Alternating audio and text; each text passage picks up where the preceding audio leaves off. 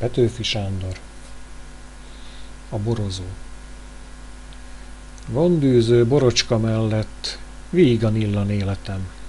Gondűző borocska mellett sors, hatalmad nevetem. És mit ámultok? Ha mondom, hogy csak a bor Istene, akit én imádok, aki e kebelnek mindene, és a bor vidám hebében füttyentek rád zord világ, szívemet, hol annyi kinnak skorpiói szaggaták. Bor tanítja húrjaimra csalni nyájas éneket.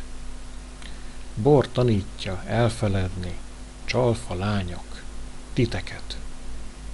Egykor, majd a borocska mellől a halál, ha űzni ő, még egy korty, s nevetve dűlök, jég öletbe, 对。